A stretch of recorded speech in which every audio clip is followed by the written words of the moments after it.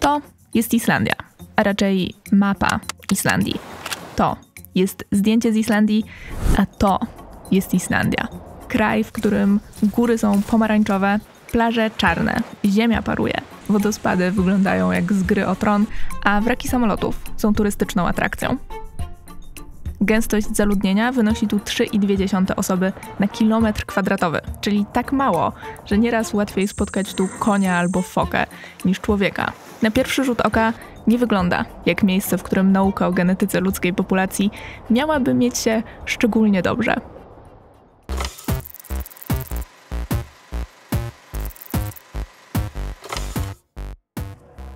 Jednak mniej więcej połowa mieszkańców Islandii e, partycypuje w badaniach genetycznych. Szacuje się, że każdy Islandczyk ochotnik dołożył swoją cegiełkę e, mniej więcej do 19 różnych odkryć.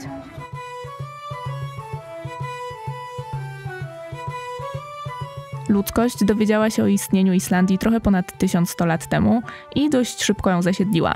W skład założycielskich społeczności wchodzili przede wszystkim wikingowie, ale też zniewolone przez nich ludy z terenów dzisiejszej Irlandii i Szkocji. Niemal do końca XX wieku Islandia była relatywnie odizolowana. Trudno tu dotrzeć, a warunki do życia nie są najłatwiejsze. Mały napływ imigrantów sprawił, że dzisiejsza populacja Islandczyków jest pod względem genetycznym dość homogenna. Poziom różnorodności genetycznej jest tutaj niższy niż wśród pozostałych europejskich społeczeństw. Mówiąc obrazowo, e, jeżeli porównujemy ze sobą genomy ludzi, którzy nieszczególnie się między sobą różnią, e, to poziom szumu w tle jest niewielki. I dzięki temu, że obraz staje się bardziej czytelny, to względnie łatwo można e, namierzać warianty genów, które są na przykład powiązane z ryzykiem wystąpienia konkretnych chorób.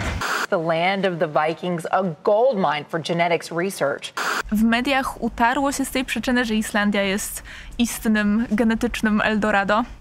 Z tym, że nie jest tak do końca. To znaczy, efekt założyciela, który polega na tym, że początek jakiejś populacji dała względnie e, niewielka grupa migrantów, tutaj istnieje, ale nie jest jakiś przesadnie e, ogromny. W, całym, w całej tej układance jest jeszcze kilka bardzo ważnych elementów, a jednym z nich jest ten pan, e, Kari Stefansson, neurolog i pionier badań nad populacją Islandii.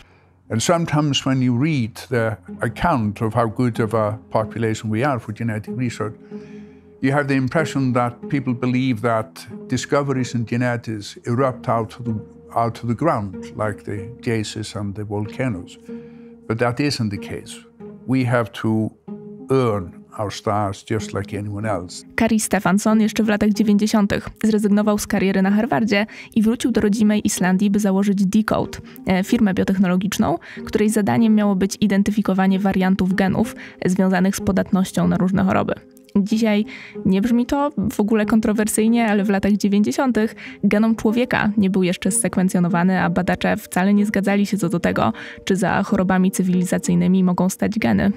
Od ponad 20 lat e, Decode zachęca e, Islandczyków do udziału w badaniach i robi to bardzo, bardzo skutecznie. Szacuje się, że mniej więcej połowa e, całej islandzkiej populacji wzięła udział w takich badaniach, partycypowała w nich. Szacuje się, że każdy z Islandczyków ochotników, który zgłosił się do badań, dołożył swoją cegiełkę do 19 różnych odkryć. W naszej układance mamy więc póki co względnie jednorodną populację, która na dodatek jest chętna do tego, żeby się badać i mamy szalonego naukowca, który skrupulatnie z tej chęci e, korzysta. Ale jest jeszcze jeden element. The reason we could do that is that people in Iceland have been passionately interested in genealogy for centuries. You know, the old Icelandic sagas written thousand years ago begin with page after page of genealogy. Najstarszy zachowany spis ludności pochodzi właśnie z Islandii z 1703 roku. Rejestry genealogiczne są tutaj tak dobrze zachowane, że umożliwiły powstanie wielkiej bazy danych, którą nazwano Islandiga Bok, czyli księgą e, Islandczyków. Zawiera ona dane o więziach rodzinnych ponad 900 tysięcy osób, czyli około połowy całej populacji Islandczyków od czasów, kiedy wikingowie odkryli tę wyspę. E, dzięki tym rejestrom informacje o genomie mogą być łączone z informacjami o pokrewieństwie, a na tej podstawie wnioskuje się na przykład o dziedziczeniu chorób. Islandzkim badaczom udało się zidentyfikować na przykład warianty genów związane ze zwiększonym ryzykiem rozwoju choroby Alzheimera, choroby wieńcowej czy niektórych nowotworów. Praca badaczy koncentrowała się też na funkcjonowaniu mózgu, schizofrenii czy chorobie dwubiegunowej, a jedna z ostatnich publikacji dowodzi, że dziedziczne czynniki ryzyka związane z tymi chorobami korelują z kreatywnością. W Decode namierzono też wielu Islandczyków będących tak zwanymi naturalnymi nokautami. W genetyce mianem nokautu określa się organizm, w którym wyłączono jakiś gen. W laboratoriach nokautuje się na przykład myszy, po to by sprawdzić, w jaki sposób różnić się one będą od zwykłych i na tej podstawie wnioskować, jaka jest funkcja wyłączonego genu.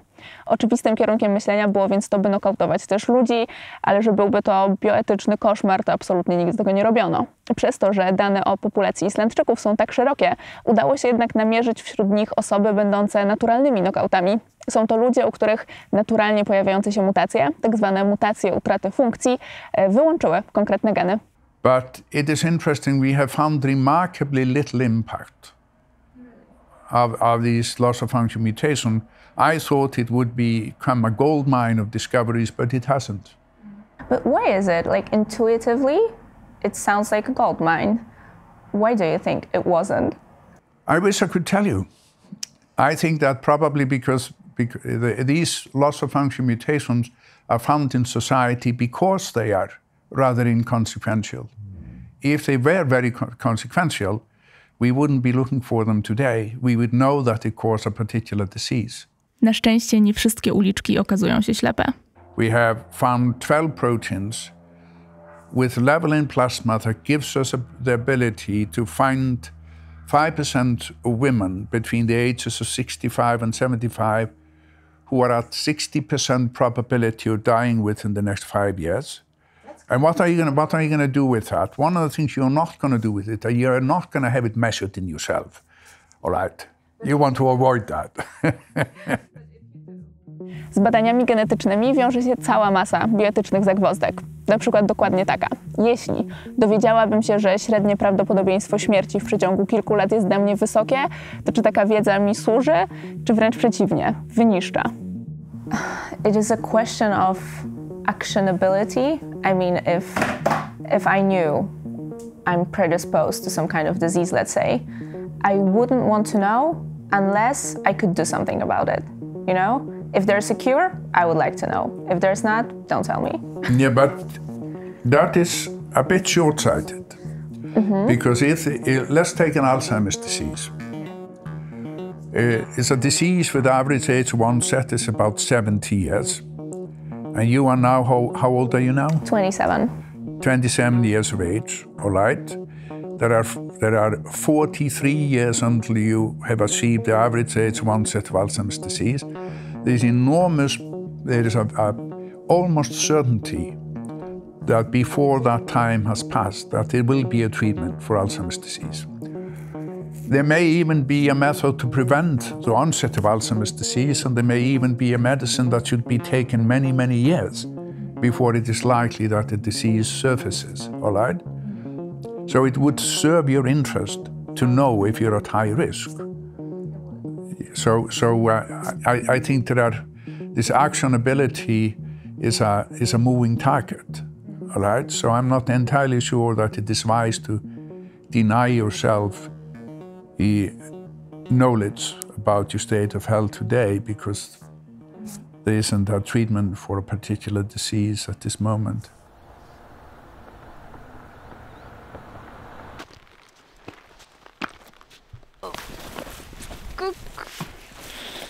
Jeśli miałabym na czuje określić, e, jakiego typu odkrycia naukowe będą najbardziej liczne i spektakularne na Islandii, to powiedziałabym, że te dotyczące natury, rzeźby terenu, roślin, zwierząt, geologii itd. Ludzie byliby chyba daleko e, na tej liście z tej prostej przyczyny, że ich jest tu po prostu e, niewielu. Tymczasem zdarzył się tutaj taki ciekawy miks e, różnych, w sumie mało prawdopodobnych okoliczności, bo wiecie, ta mm, homogenna populacja na nic by się zdała, gdyby nie była specjalnie chętna do brania udziału w badaniach. Te badania w ogóle by się nie odbyły, gdyby nie szalony e, naukowiec, który trochę wyprzedził swoją epokę, a wyniki tych badań też nie byłyby aż tak istotne, gdyby nie fakt, że zebrano je w miejscu, które ma bardzo, bardzo, bardzo dobre rejestry genealogiczne i medyczne. I tym sposobem e, kompletne odludzie stało się miejscem, w którym ludzkość może paradoksalnie dość e, dowiedzieć się o sobie całkiem sporo.